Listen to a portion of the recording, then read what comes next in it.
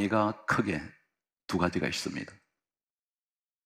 두 부류로 나누게 되면 육체적인 장애가 있고 정신적인 장애가 있습니다. 이 정신적인 장애 가운데 한 가지는 분노 조절 장애라는 그런 단어도 있습니다. 육체에 관한 이 장애는 때로는 앞을 보지 못하는 소경도 있을 것이고 또 다리나 하체 아니면 팔을 서지 못하고 평생 누워 있는 이런 장애를 앓고 있는 분들이 있습니다. 신약 성경에 보게 되면 예수님께서는 많은 사람들을 만나시면 늘 치료해 주셨습니다. 때론 이런 이야기를 합니다. 우리 집에는 무슨 죄가 많길래 이런 장애를 가진 자녀가 태어났을까? 이렇게 하는 분들이 있습니다. 여기에 대한 명쾌한 주님께서 하시는 말씀이 있습니다. 신약 성경 27권 가운데 한 사람의 병을 가지고 이례적으로 아주 긴 내용으로 말씀하신 내용이 오늘 소개되는 요한복음 9장 사건입니다.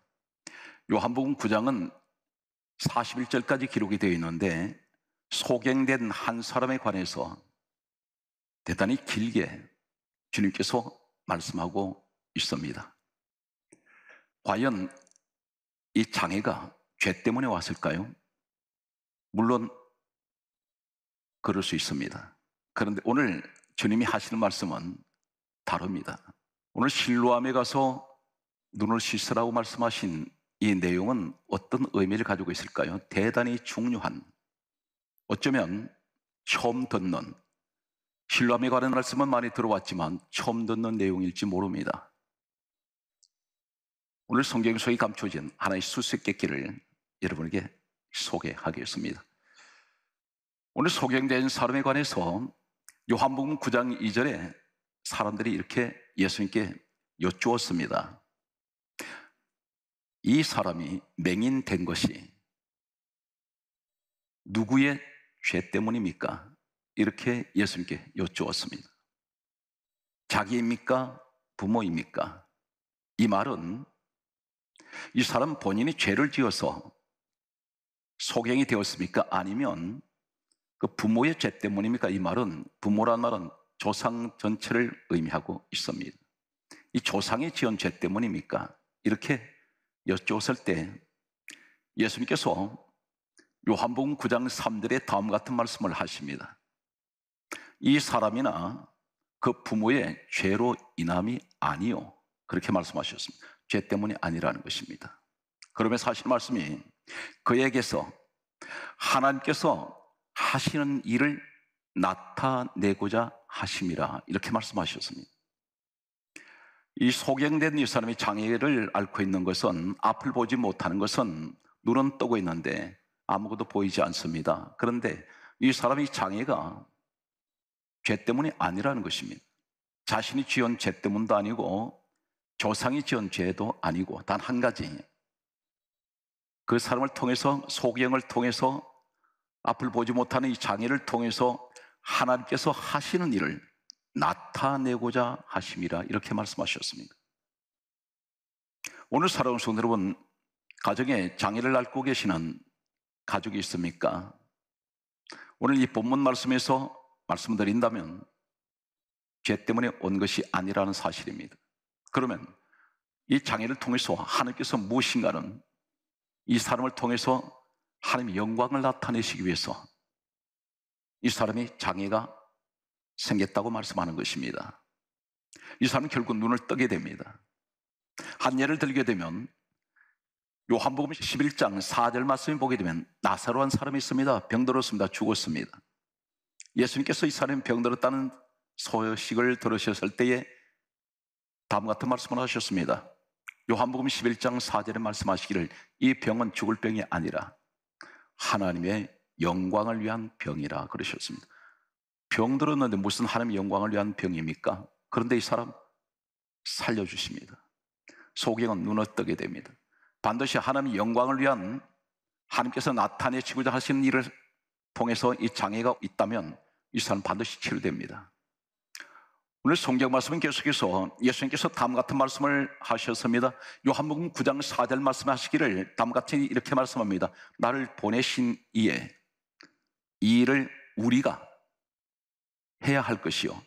여기서 나를 보내신니 다시 말해서 주님께서 이 땅에 오실 때 하나님 아버지께서 이 땅에 보내셨는데 나를 보내신 이의 일을 우리가 말씀합니다.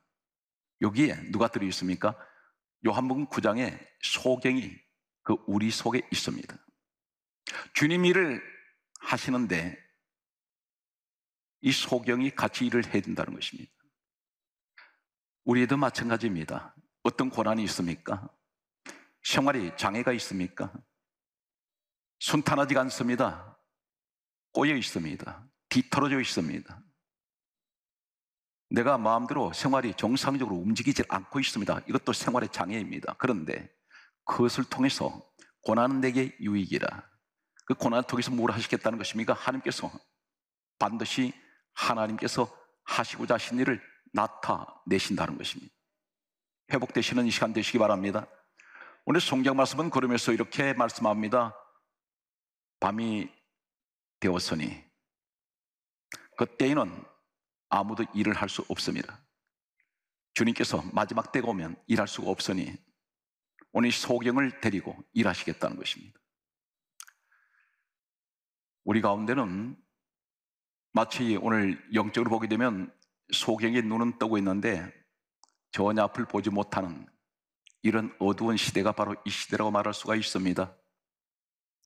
우리는 신문 지상을 통해서 방송을 통해서 많은 범죄 사건들을 접합니다. 이런 범죄는 역사 이래로 계속되어 왔습니다.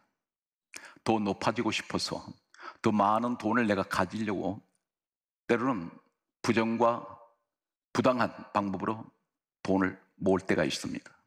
이것은 범죄입니다.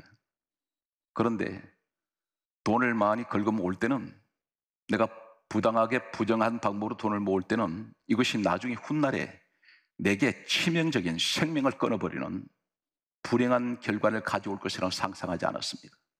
만약 그걸 알았다면 그런 부당한 방법이나 부정한 방법으로 돈을 모으지는 않았을 것입니다.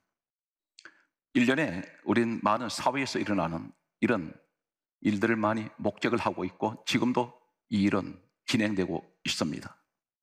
우리는 아무것도 앞에 알지를 못합니다. 한 치 앞도 모릅니다. 마치 눈 뜬 장님과 같다는 것입니다. 오늘 그런데 여기서 이렇게 말씀하고 있습니다. 단순하게 예수님께서 한 사람의 소경을 눈을 뜨게 한이 사건을 단순한 한 개인을 얘기하는 것이 아니라 그 시대 상황을 말씀하고 있습니다. 너희들은 눈은 뜨고 있어도 앞을 보지 못한다는 것입니다. 눈은 두 가지가 있습니다. 영적 세계가 있고 육적 세계가 있는데 분명 이 시대는 영의 세계가 있고 육의 세계에 존재하고 있습니다. 사람이 살았다는 그 차이점은 무엇인가요? 죽었다는 차이점과 살았다는 차이점은 영혼이 떠날 때는 육신은 껍데기가 되어버립니다. 육은 죽어버립니다. 썩어버립니다. 그런데 사람들은 잠깐 있다가 없어지는 흙으로 다시 돌아가는 이 육신에 대해서만 집중하고 투자하고 있습니다.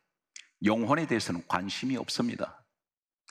오늘 성경 말씀은 이렇게 말씀하고 있습니다. 예수님께서 말씀하시기를 마태복음 13장 13절 말씀에 보면 너희 눈은 보기는 보아도 보지 못할 것이요 무엇을 보기는 보아도 보지 못한다고 말씀합니까? 그리고 귀는 들어도 듣지 못할 것이요 깨닫지 못할 것이다. 그렇게 말씀하십니다. 다시 봐서 너는 눈뜬 장님 같은 사람들이 많다는 것입니다. 의외로 많습니다. 오늘 성경 말씀은 계속해서 이렇게 정언하고 있습니다. 마태복음 13장 16절에 말씀하시기를 복이 있는 사람이 있는데 어떤 사람이 복이 있습니까? 눈은 봄으로 귀는 더름으로 복이 있도다. 우린 다 본다고 말합니다. 그런데 실상은 껍데기만 보고 있다는 것입니다. 오늘 더 귀한 무엇을 보는 눈이 있는데 그 눈이 복되다 말합니다. 귀가 복되다라고 말씀합니다. 성경 말씀을 계속해서 보게 되면 이렇게 또 기록을 하고 있습니다. 구약 성경 에레미야 5장 21절 말씀을 보면 다음 같은 말씀을 우리에게 하고 계십니다.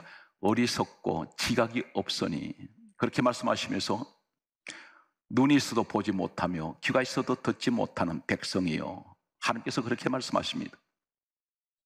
계속해서 말씀을 보게 되면 구약 성경에 에리메야 애가 4장 14절 말씀을 보게 되면 이렇게 또 말씀하고 있습니다. 그들이 거리 거리에서 맹인같이 방황하는 백성이요. 이렇게 말씀합니다. 하나님 백성들이 길거리 거리거리마다 방황하고 있다는 것입니다. 어떻게 방황합니까? 맹인같이 방황한다는 것은 보지 못한다는 것입니다. 그러니까 세상을 향해서 헤매고 다닌다는 것입니다. 무엇을 찾으려고 마치 세상 탐심의 욕망을 가지고 무엇을 이루어보려고 그렇게 동문서주하고 있다는 것입니다. 그런데 정작 보아야 될 것은 보지 못하고 들어야 될 것은 듣지 못한다는 것입니다. 도대체 하나님 말씀하시는 무엇을 보아야 될까요? 다 눈은 뜨고 있는데 오늘 본문에 소경이 눈은 뜨고 있습니다. 그런데 보지 못해요.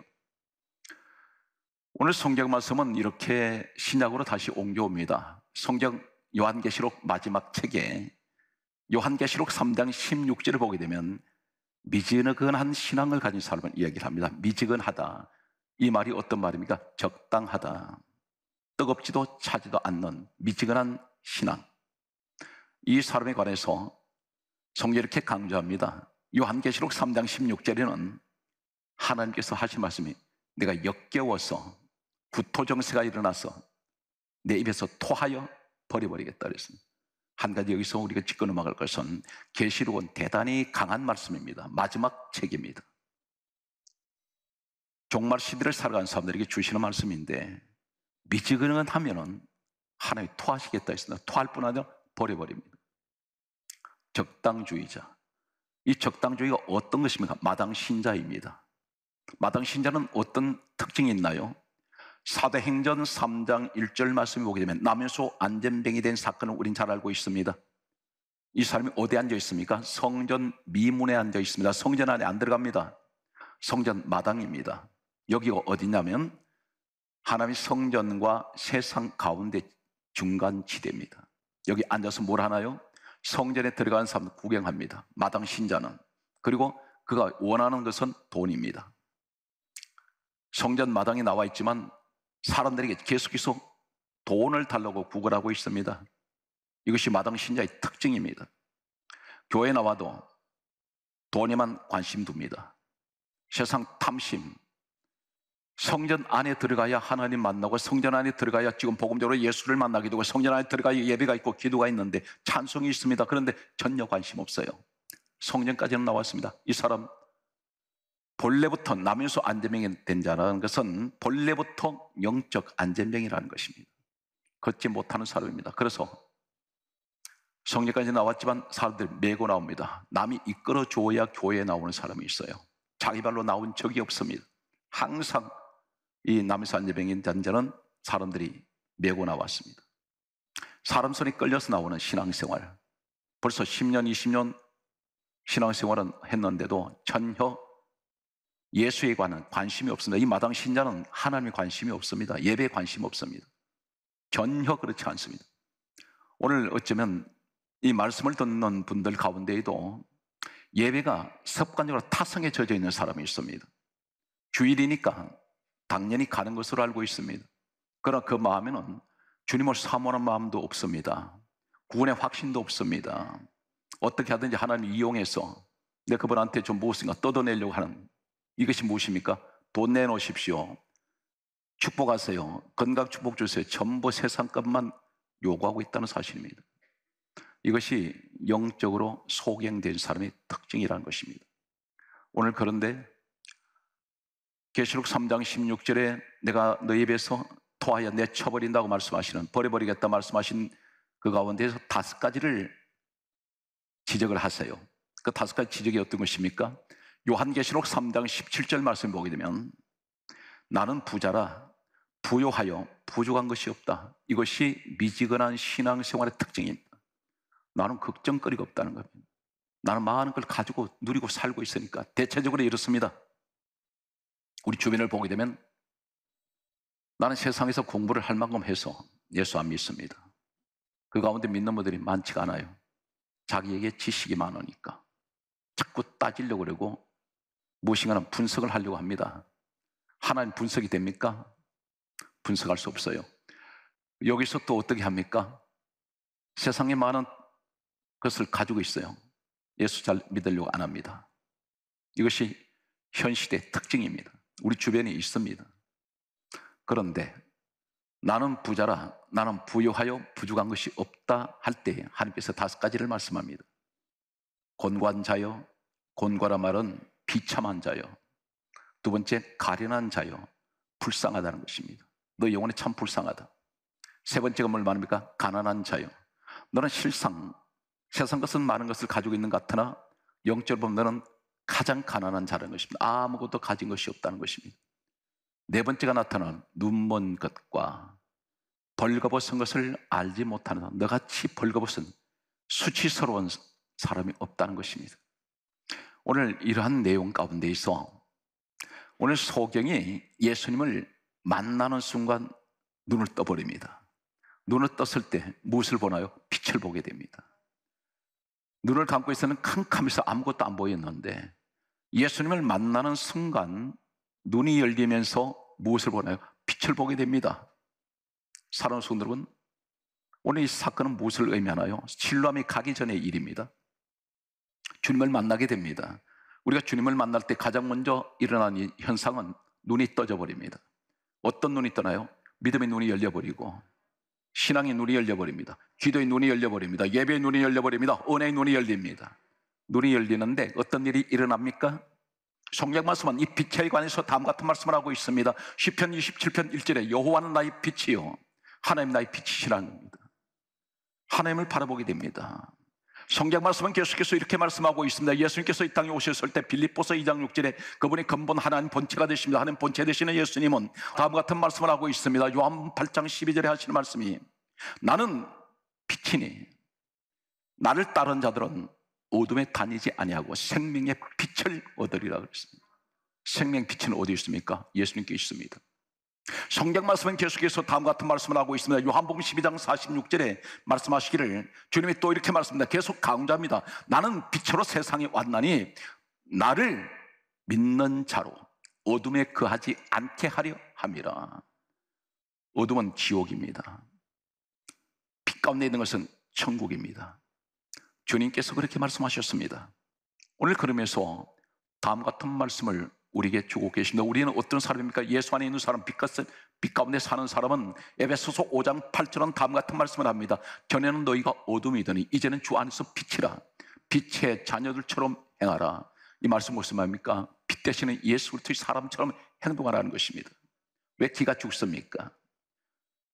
세상 것은 끊임없이 우리를 괴롭힙니다. 그러나 당당해야 됩니다. 무서워하면 더 달려듭니다. 세상은 미친 듯이 노도 광풍같이 집어 삼키려고 달려들고 있는 시대입니다. 동서남북 뭐 방향 감각이 없습니다. 어디서 무엇이 덮칠지 모릅니다. 이럴 때 우리는 어떻게 됩니까? 정신을 차려야 돼요. 어떻게 정신을 차려야 됩니까? 예수 그리스도께 마음을 두어야 됩니다. 그리고 그분이 도와주셔야 됩니다. 내 힘으로는 할 수 없습니다. 아무것도 못 막아냅니다. 그러나 천지를 창조하신 우리 하나님 되시는 예수 그리스도는 나를 어느 곳에 있든지 오늘 다윗이 고백했던 10편 23편 말씀같이 내가 사망이 엄참한 골짜기를 다닐지라도 해를 두려워하지 않을 것은 주께서 나와 함께 하심이라. 아무것도 두려움이 없습니다. 주님이 나의 피난처가 되시고 여러분이 안전지대에 우리 주님께서 그곳에 계실 줄로 믿습니까? 오늘 성경 말씀을 소개합니다. 주님을 만났습니다. 그런데 주님께서 침을 뱉어서 흙을 이기셔서 눈에 바르시고 난 후에 하시는 말씀이 오늘 성경 말씀은 이렇게 기록하고 있습니다. 요한복음 9장 7절에 하신 말씀이 실로한 못에 가서 씻어라. 간단하게 말씀하세요. 바로 눈뜨게 하실 수 있지 않습니까?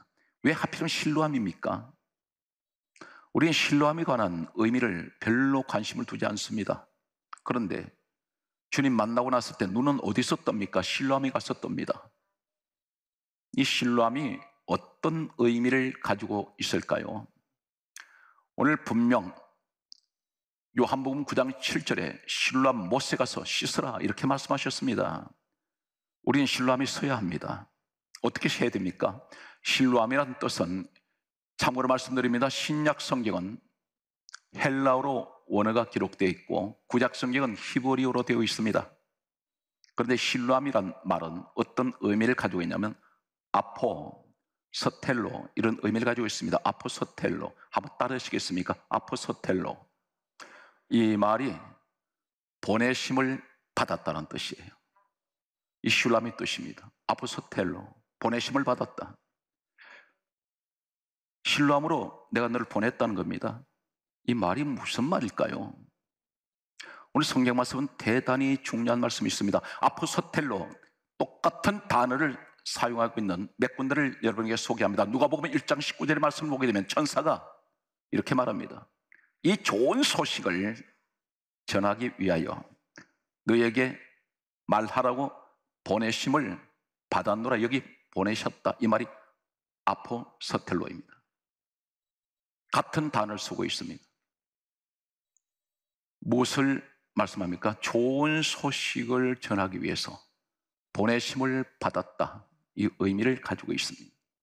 신라함이 도대체 어떤 것입니까? 또 한 군데를 잠깐 소개하겠습니다.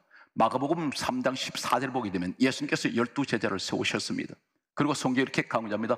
보내사 전도하게 하시고 보내셨다 했으나 이 보내사 이 말이 아포 스텔로입니다. 실로함에 보내심을 받았다 이 의미와 같은 단어를 사용하고 있습니다. 오늘 성경 말씀은 계속해서 실로함을 잠깐 소개하겠습니다. 누가복음 13장 3절 말씀을 보게 되면 실로함 사건을 말씀하면서 먼저 이 말씀을 하세요. 누가복음 13장 3절에 다음 같은 말씀을 합니다. 회개하지 아니하면 다 이와 같이 망하리라 이렇게 말씀을 하시면서 바로 누가복음 13장 4절에 이렇게 말씀합니다. 실로암 망대가 무너져서 치어서 죽은 18명이 예루살렘에 다른 사람보다 죄가 더 있는 줄 아느냐 이렇게 말씀하시면서 누가복음 13장 5절에 하실 말씀이 회개하지 않으면 다 이와 같이 망하리라 이렇게 말씀하셨습니다. 여기 실로함은 어떤 것이냐면 18명의 망대가 무너졌는데 죄 때문에 죽었다는 것입니다. 이것은 뭐가 있는 것입니까? 죄인들이 있던 곳입니다. 죄가 있는 곳입니다. 그런데 그곳에 가서 예수님 보내셨어요. 거기서 눈 뜹니다. 상징적으로 뭘 말하냐면 주님을 만났으니 너는 실로함 죄가 있는 곳에 가서 네가 그곳에서 눈 떠듯이 그곳의 죄인들을 눈을 뜨게 해라. 이것이 보내심을 받았다는 뜻입니다. 지금 우리 보고 말씀하세요. 주님을 만났으면 죄 가운데 들어가서 죄 가운데 살아간 사람들에게 눈 뜨게 해주어라. 이것이 영의 눈을 뜨는 거예요. 눈 뜨면 무엇이 보입니까? 빛이 보이잖아요. 빛이 누구예요? 예수 그리스도를 알리라는 것입니다. 코로나 바이러스 때문에 다 묶고 났습니까? 아닙니다. 가장 가까운 사람이라도 전화 한 통화에도 얼마나 그 전화가 하나님 들으실 때 기뻐하시겠습니까? 이렇게 어려울 때일수록 기도하십시오. 어려울 때일수록 교회 가십시오. 어려울 때일수록 예배 드리십시오. 이대로 주저앉았으면 안 됩니다 하는 이야기를 하실 수 있지 않습니까? 오늘 송경 말씀은 다음 같은 말씀을 합니다. 예수님께서 오신 목적을 한 가지 말씀하세요. 주님이 친히 말씀하시기를 마가복음 1장 38절에 다음 같은 말씀을 합니다. 나는 전도하러 왔노니 전도하러 오셨다는 것입니다.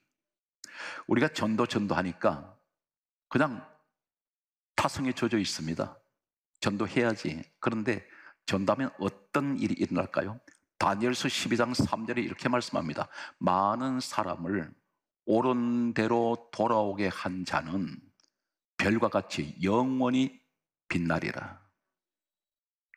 우리를 통해서 많은 사람들이 옳은 데가 어딥니까? 주님께로 인도되었을 때 그것 하면 어떤데 하나님 말씀합니다. 하늘의 별같이 영원히 빛나게 해주신다 했습니다. 별은 하늘에 있습니다. 너는 영원히 빛날 것이야. 너로 인해서 많은 영혼들이 구원받았으니 하나님께서는 이것을 가르칩니다. 구약의 다니엘서 12장 3절과 신약의 한 군데를 더 말씀드리면 야고보서 5장 19절은 이렇게 말씀하고 있습니다. 너희 중에 미혹되어서 진리를 떠난 자가 있으면 누가 누구든지 이런 사람을 돌아서게 하면 그 영혼을 사망에서 구원할 것이며 허다한 죄가 덮어져 버립니다. 이것이 전도 한 명 했더니 다니엘서에는 많은 사람을 전도한 것이고 야고보서에 말씀하시는 것은 단수를 말씀합니다. 한 명이라도 전도해서 데려오면 미혹돼서 진리가 누굽니까? 요한복음 14장 6절에 주님 말씀하세요. 내가 곧 길이요 진리요 생명이니 나로 말미암지 않고는 아버지께로 올 자가 없다. 진리 되시는 주님께로 돌아서게 하면 누구든지 그 영혼은 사망에서 하나님께서 말씀다 구원할 것이다. 나도 구원받고 데려온 사람도 구원받고 그리고 허단 죄가 덮어져 버립니다. 어떤 죄도 다 덮습니다. 허다하단 이 말은 계산할 수 없는 죄 덩어리들 주님이 다 덮어버립니다. 예수님 관심이 어디 있는가? 한 영혼 구원입니다. 여기에 관심을 둘 때 하나님께서 모든 여러분 사업장, 가정, 자녀들 모든 범사 내가 그 기도를 하지 않아도 하나님께서 다 이루어내세요. 가장 복된 마지막 시대에 남아있는 마지막 어쩌면 이제 가을이 지나가고 겨울이 다가오면 메마른 가지에 마지막 남아있는 마지막 잎새가 있습니다. 끝까지 떨어지지 않습니다. 여러분 마지막 잎새처럼 끝까지 이 시대에 남아있는 믿음의 사람 되시기를 주의 이름으로 축복합니다.